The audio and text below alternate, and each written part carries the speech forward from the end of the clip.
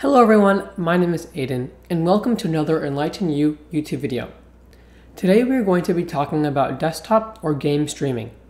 To do this, we are going to be using software called Parsec, which works on Windows, Mac, Android, Raspberry Pi, and Linux.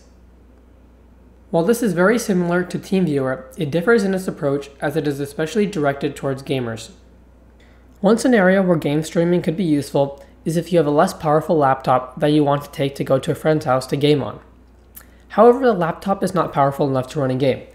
As a result, if you run Parsec on your powerful computer at home and game stream to your smaller laptop at your friend's house, you will be able to play at much smoother frame rates and resolution than you would be able to on a small laptop. I ultimately decided to make this video as no matter how much I scoured the internet for a solution for this problem, I couldn't find one until I found Parsec. So this video is really a solution to my own problem, and I hope I can help others by making this video. In order to start, download Parsec from your main computer. The link to the download will be in the description below. After opening up the downloader, simply follow the directions and download Parsec to your computer. While Parsec was originally intended to help you play games with your friends, it is especially useful when game streaming to your own devices. In order to do this, you'll need to get a separate device such as a laptop or an Android phone and download Parsec. After logging into Parsec on the same account but on different computers, you should see the new device pop up in the Parsec menu. In order to get started to game stream, simply click connect on the new device and you should see the new device pop up.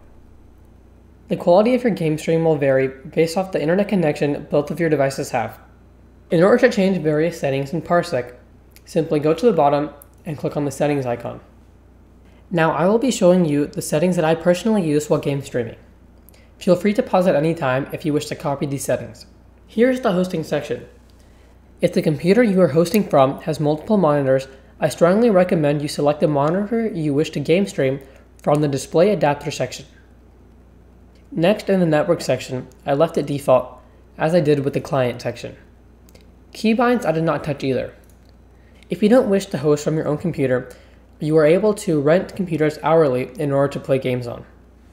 This concludes my tutorial on game streaming using Parsec, and I hope you guys all enjoyed and are able to use this in the future. If you have any questions, be sure to leave a comment in the comment section, and I'll be sure to help you guys out. Thank you guys for watching, and have a wonderful day.